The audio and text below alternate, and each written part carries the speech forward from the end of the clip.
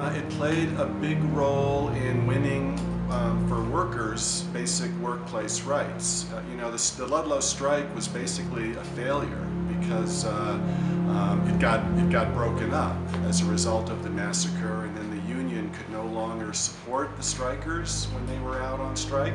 So it was technically a failure, but it made a big impression on people nationally. John D. Rockefeller Jr. received the Colorado Iron and Fuel Company from his father, John Rockefeller, for his birthday in the early 1900s. The company was composed of over 900 workers. The 900 workers were made up of 19 nationalities and 36 different languages. Rockefeller created this diversity intentionally. He sent recruiters into southern European countries. The purpose of this was to make sure that they couldn't communicate and form a strike. Miners were forced to work in brutal, inhumane conditions within the mine. All the money that the miners received could only be used in company stores. In addition, the workers were forced to live with their families in company owned houses, which were really just unstable wooden shacks. Working conditions were brutal to say the least.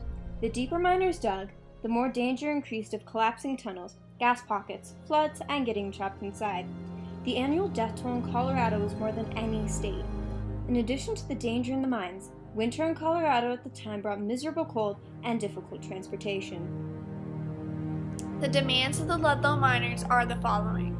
Number 1. Recognition of the union's right to bargain. Number 2. A 10% advance on tonnage rates. Number 3. An 8-hour workday for all miners in and around the mine and at coke ovens.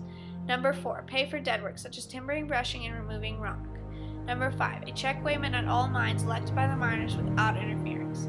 Number 6. The right to trade at any store to choose lodging and a medical doctor. Number 7. Enforcement of the Colorado mining laws and the elimination of armed mine guards.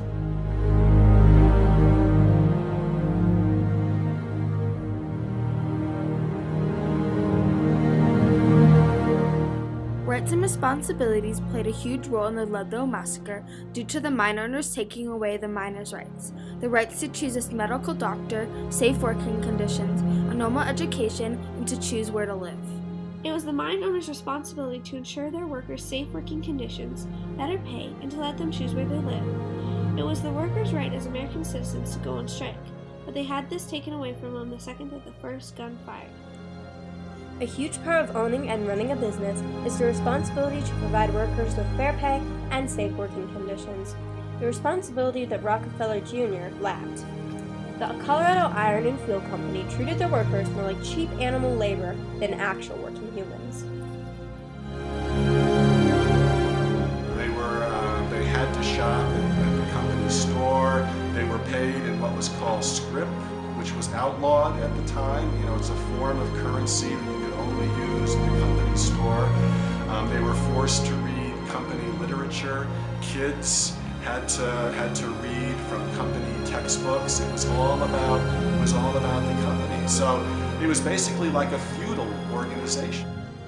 The Colorado Fuel and Iron Company stubbornly refused to grant them demands, forcing 13,000 workers out of the original company-owned houses, making them live in a large colony of primitive tents. The colony primitive tents was located on land that was loaned to them by ex-miners who sympathized and supported the strikers' union. The colony was under the leadership of Louis Tikas.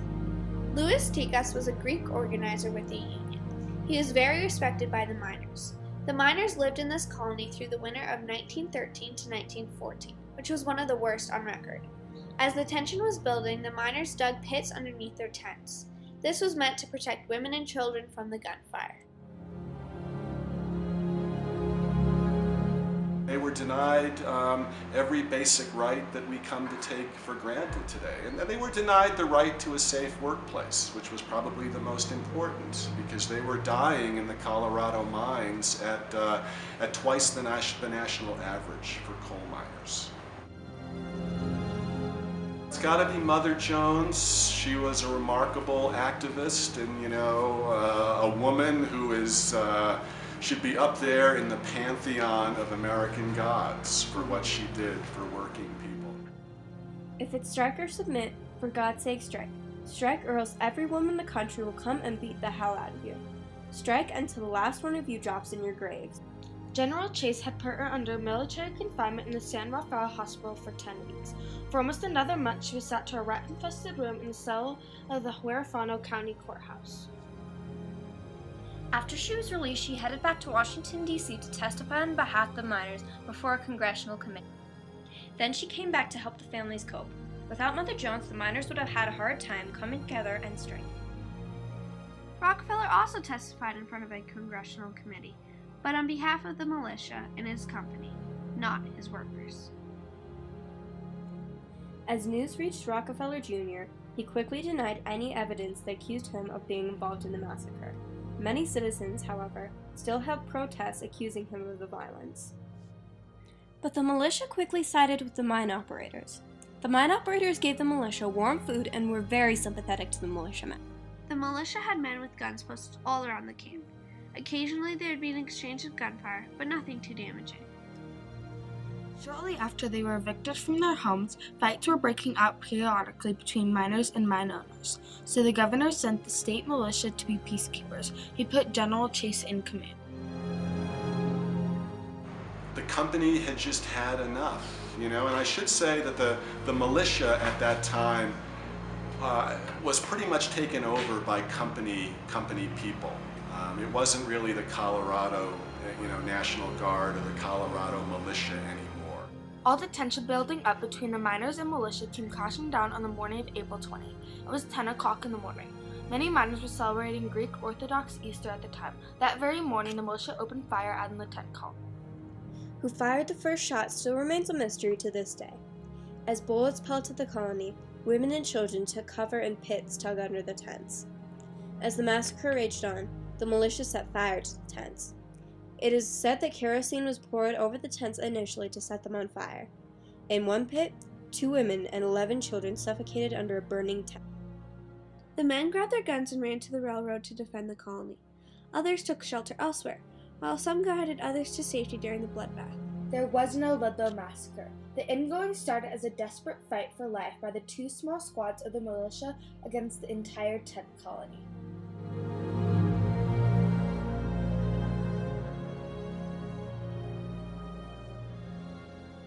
On the day of the Ludlow battle, a chum and myself left the house of Reverend J.O. Ferris, the Episcopal minister with whom I boarded in Trinidad. For a long tramp through the hills, we walked 14 miles, intending to take the Colorado and Southern Railroad back to Trinidad from the Ludlow station. We were going down a trail on the mountainside just above the tent city at Ludlow when my chum pulled on my sleeve, and at the same instant we heard shooting. The militia were coming out of Hastings Canyon and firing as they came. We lay flat behind a rock and after a few minutes I raised my hat aloft on a stick. Instantly, bullets came in our direction. One penetrated my hat. The militiamen must have been watching the hillside through glasses and thought that my old hat betrayed the whereabouts of a sharpshooter of the miners. We saw the militiamen parley outside the tent city, and a few minutes later, Tikas came out to meet them. We watched them talking. Suddenly, an officer raised his rifle, gripping the barrel, and felled Tikas with the butt. Tikas fell face downward. As he lay there, we saw the militiamen fall back. Then they aimed their rifles and deliberately fired them into the unconscious man's body. It was the first murder I'd ever seen, for it was a murder and nothing less. Then the miners ran about in the tent colony. Women and children scuttled for safety in pits which afterward trapped them.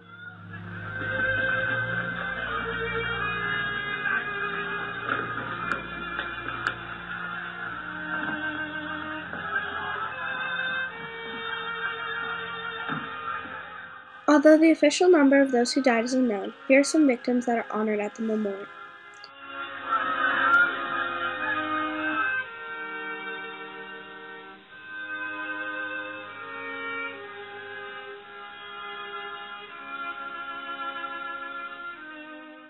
This is the memorial located on the site of the massacre, dedicated to the men, women, and children who became victims of this bloody scar in Colorado's history. This memorial is a National Historical Landmark. It stands tall and strong as a reminder that many hardworking miners of this event paid the ultimate sacrifice for their rights.